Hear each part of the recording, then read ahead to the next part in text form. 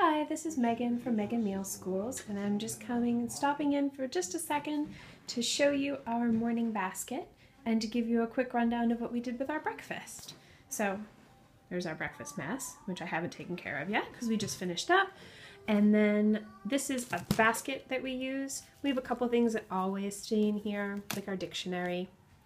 Um, but you can see most of the things that are in here are library books.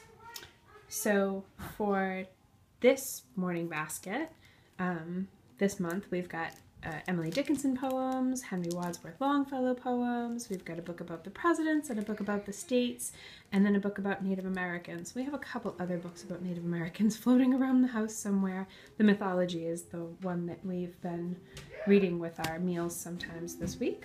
And then we've got a dry erase United States activity book this morning we did some Mad Libs.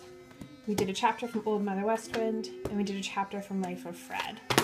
And then my daughter asked if she could please practice her writing today.